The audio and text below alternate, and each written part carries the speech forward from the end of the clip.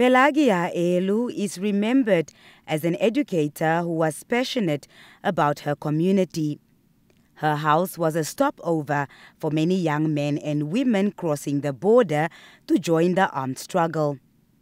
Those close to Eelu described her as a fearless woman whose residence became a logistic hub for a large quantity of weapons and ammunition, particularly when launching attacks on enemy bases. It's reported that despite being frequently searched and assaulted by the South African forces, Eelu never shared any information with them. She was awarded the Grand Commander of the Most Excellent Order of Namibia on September the 20th in 2003 by the founding president Sam Nujoma.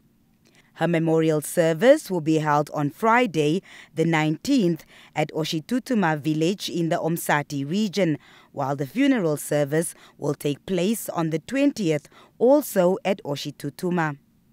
Eelu died at the age of 99 and is survived by five children, grandchildren, and great grandchildren.